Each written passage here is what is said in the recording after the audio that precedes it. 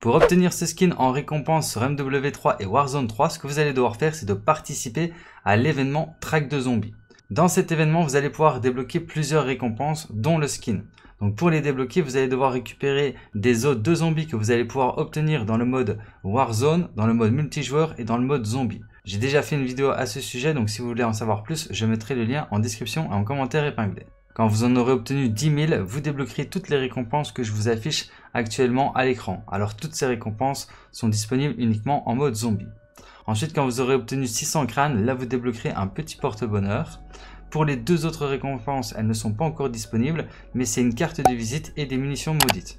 Et pour débloquer le skin, ce que vous allez devoir faire, c'est de réaliser tous les défis. Donc pour l'instant, vous ne pouvez pas l'obtenir car il y a deux défis manquants, mais quand ils seront disponibles et que vous les aurez réalisés, bah là vous débloquerez le skin tir mortel.